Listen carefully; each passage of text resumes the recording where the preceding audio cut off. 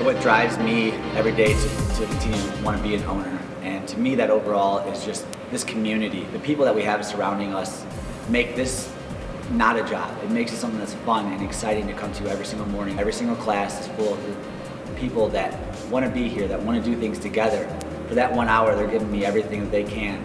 And they're driven and their mm-hmm. desire, and they just want to go on to be, to be the best they can be. And it's, it's amazing to hear him say like, this is the one hour of the day that they look forward to.